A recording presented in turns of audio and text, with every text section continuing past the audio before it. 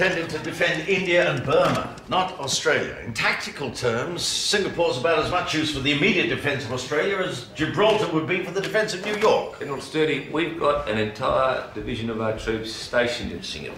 Yes, sir. 8th Division. Bearing in mind they're newly trained and untested. Are you also telling me, General, that these troops are in the wrong place? Not if we're talking about defending the British Commonwealth, but you're asking me about the defence of this country, mm-hmm. right now. In that event, our division in Singapore will be no more use to us than our three divisions in the Middle East. General, you realise that the whole foundation of our discussion with Britain is the assurance that Singapore is the stronghold for the defence of the South Pacific. No, sir. The Far East.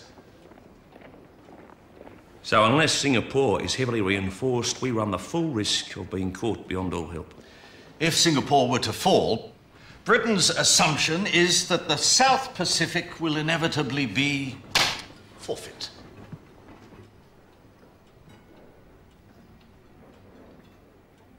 Right, well, what I think he's trying to tell us, Fred, is that we have been sold a pup.